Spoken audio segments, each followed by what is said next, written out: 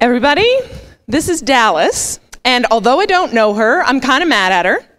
Uh, I saw her in a documentary from England about an organization, a charity, that pairs up younger people with socially isolated seniors, and that's what Dallas is. She's a socially isolated senior, and of course, no matter what age you are, social isolation is the worst. It's miserable for the individuals that are affected by it.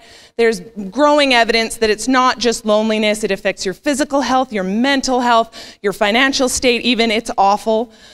But it's also awful for us as a society. Just about any social ill that you want to look at, from addictions to poverty to homelessness to crime, if you look underneath, you find social isolation as at least one of the root causes. And so it's costly in tangible ways like healthcare and policing costs, but it's also costly because it it robs us of all the great contributions that the socially isolated individuals could be making to our world if they were just properly connected and supported. Which is why, of course, we want formal programs like the one helping Dallas in over there in England or government programs. We want those to be funded, but that's really not what I'm here to talk to you about today. What I want to explore is how someone like Dallas finds herself in the situation that she was in in the first place. So, in the documentary, Dallas says that for 47 years she was married to the same man, they did everything together, he was her everything. And when he died after half a century, she was suddenly, that's the word she uses, suddenly just bereft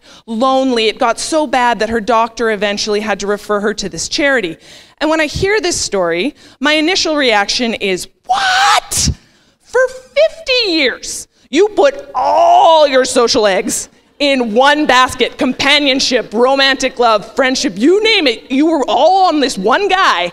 And then in old age, he dies and you're shocked. That's not. That's not sudden you could see that coming from a mile away.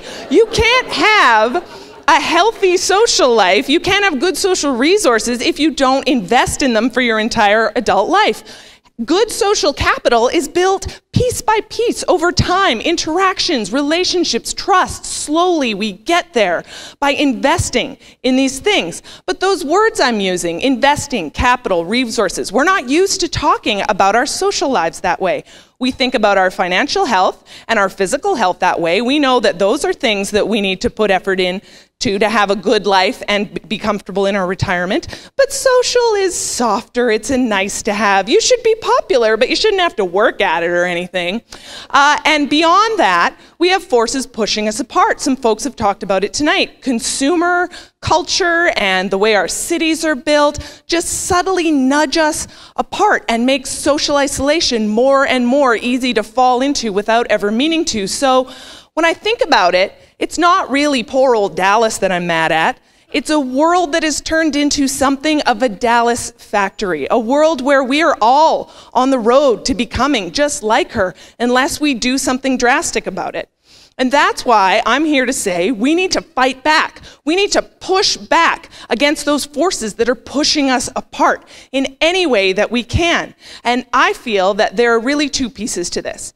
The first piece is about individuals.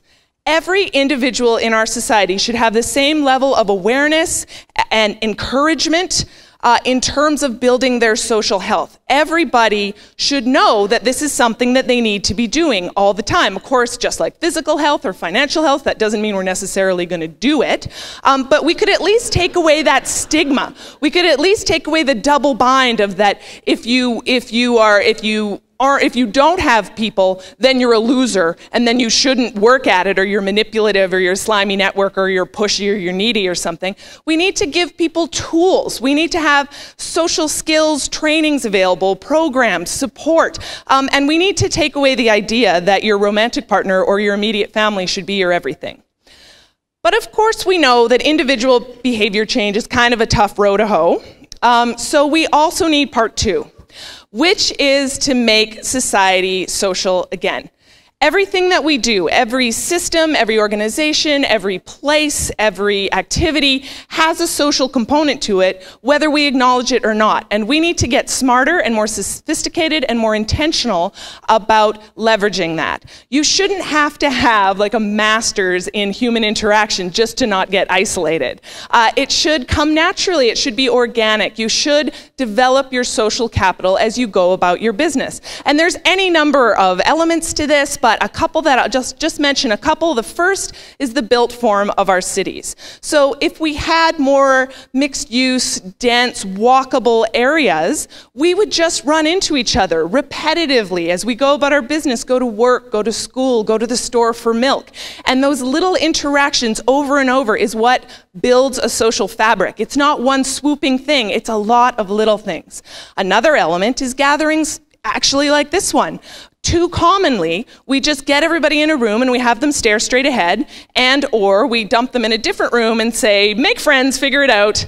Uh, and a lot of people really don't like that and they're really not that good at it and they struggle with it and they stay in their seat. I saw you. Uh, and, uh, which is okay because it doesn't come naturally to everyone. We need to change that. We need to be smarter and have more facilitation. And actually, I'm going to start with you tonight. I'm going to invite you at the end of the program, go up to somebody you don't know or somebody you don't know very well and just say, which talk did you find most interesting? That's it. Just maybe it leads to a conversation, maybe it doesn't, but either way, you've made that little connection, and it's lots of those that are going to get us there. Because nobody wants to be socially isolated at any time in their life, and especially not in those vulnerable later years. For myself, when I someday, hopefully after a long and fulfilling life, when I eventually die, I hope they pack the streets at my funeral. I hope I have so many connections right up to the end that people turn out in droves to celebrate my life. I think I deserve that, and I think you deserve that too. So let's make it happen.